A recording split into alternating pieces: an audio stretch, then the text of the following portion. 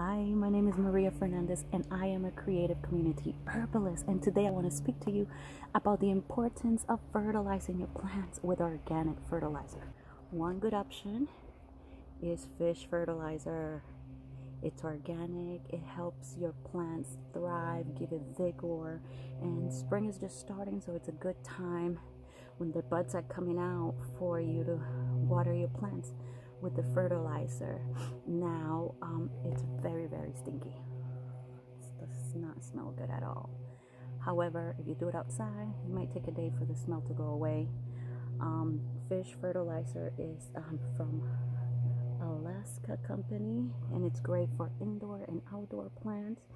It gives um, the plants a natural source of nutrients and its soil will be enhanced by it. So I'm filling this up and mixing this in. I'll show you. I am using the Alaska Fish Fertilizer, which is 5 to 1 1, which means it has 5% nitrogen, 1% phosphorus, and 1% potassium.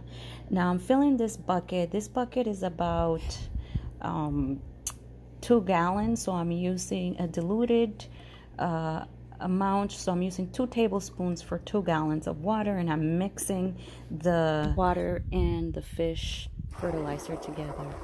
So, how often to add the uh, Alaskan fish fertilizer? It's all about trial and error. So, maybe every two weeks or every three weeks, depending on your soil health. Fish fertilizer was first used by the indigenous people of America, the First Nation. They figured that when they put fish in the soil, it created um, beautiful plants, um, more vigorous roots. The plants had better foliage, and it was really good for the soil health and just basically organic and it was one way to to give back to the land. So that's why fish fertilizer is really important. If you are going to use the fish fertilizer i do recommend that you do um, do it outside as it does have a strong smell and it dissipates within a day or two.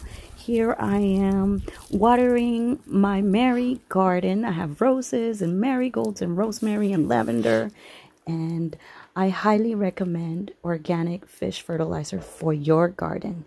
Thank you for watching.